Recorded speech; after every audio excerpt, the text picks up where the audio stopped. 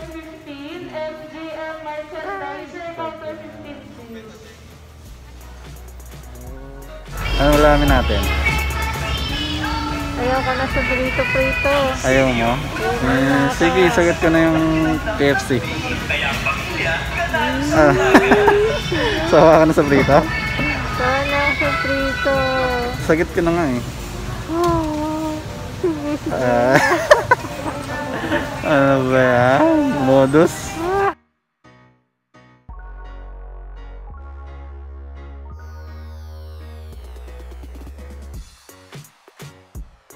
Hello, Hello, mga kasilaw! So ayan, so mag-start po kami ng vlog-vlogan lang. Kumarin vlog-vlogan lang. So ayan na. Practice lang to. Mm, kagaling lang namin sa supermarket. So ito yung nabili namin. Kailangan pakita ko lang. Actually, kanina pa kami.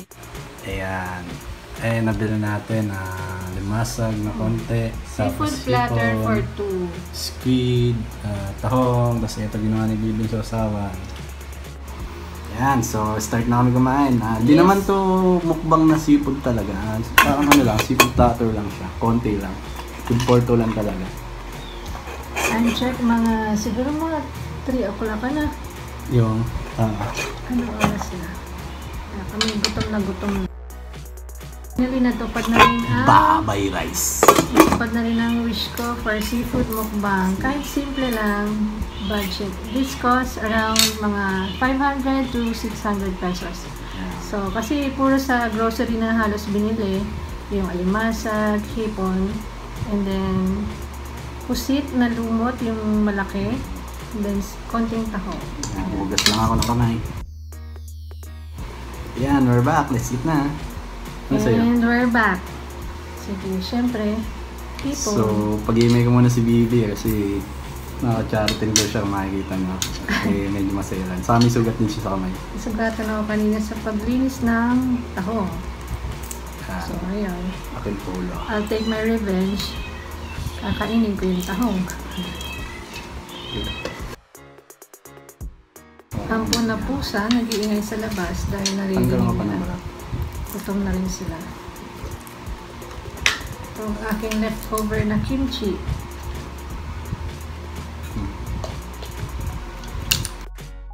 Ah, niluto nga pala namin to ba buttered chicken.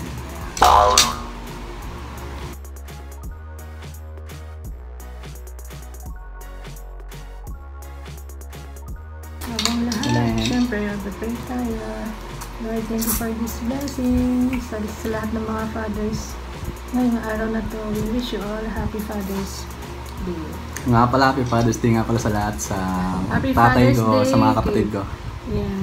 Sa aking ding papa na tinawagan ko na kanina, pati si Mudra. Then, Happy birth- Happy Father's Day sa inyo lahat. Sa aking mga kapatid, kay Kuya Oliver, kay Darwin, aking mga bayaw, si Kuya Las, nakasama ni Ate sa Miami, and then si si Errol with my sister Alec dito sa Pasig. Akin na Happy Father's Day, Tatay Ruben. Tatay Jegs, Tatay Julius, and Bayaw Harley. Yeah. Mga kuya niya yun.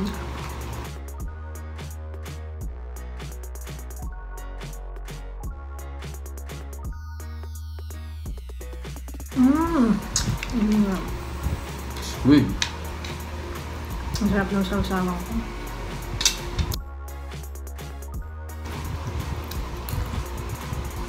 Mmm, sarap. Parang goma. Kwento mo naman kung paano mo ginawa. Yung, Or niluto itong ating seafood platter. mm, YouTube, YouTube lang. Hindi, paano mo nga siya ginawa? Ay, Yung hipon, nilinis ko lang. Nilagyan ko asin. Tapos, niluto ko rin sa butter. Pinilito ko yung butter, tapos yung Butter and garlic. garlic. Tapos, nilagay ko na yung squid. Tapos, ganun din sa shrimp and ah, limasag. Um, saute muna ako ng garlic sa butter. Tapos, ayan. Parang kalabos lang. Actually guys, mahilig kasi ako talaga sa seafood and then favorite kong pinapanood mga mukbang na videos for seafood. Ang nakaka-inggit kasi ang lalaki talaga ng mga crabs. Yung crabs nila, mga lobster, ganyan. Tapos mga giant na sugpo. Yan. Mga Korean mukbang. Yan, may ako dyan. Ang lalaki ng shrimp sa crab. Tapos puro sili.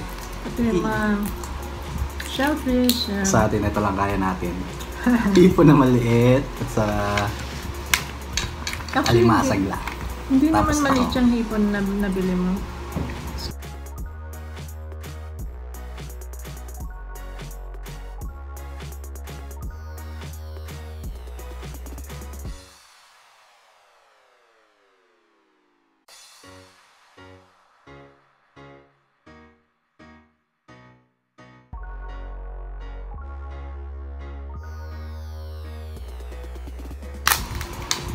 So, it's Sunday today.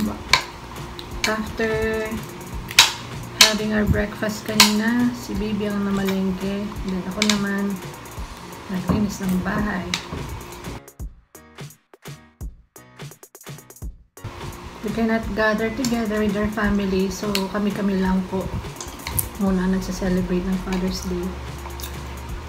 Usually, we gather with my siblings, then siya yun ng Bulacan.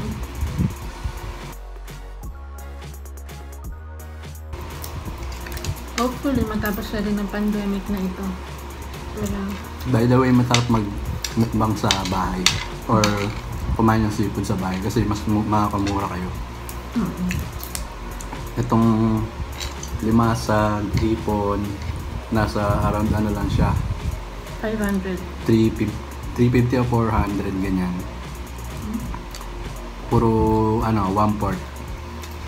Pero pag sa mga restaurant mo siya in order, nag-range siya ng mga ano, 600, no? Mga ganyan. 600 Hindi ka pa ganong 800. busog. Pwede up to Kaya magluto 1,000. na lang sa bahay.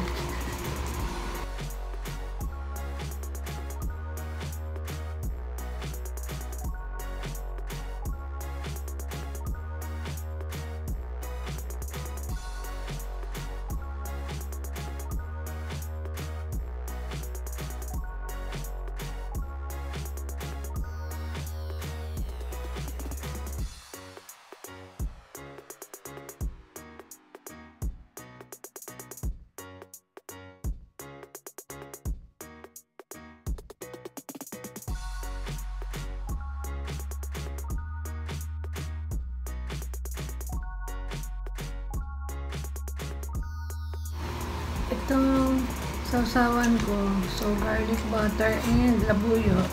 Then plus, uh, kalamansi, kalamansi juice. Since wala tayong nabiling lemon, napakamahal ng lemon. Excuse me. And then, soy sauce.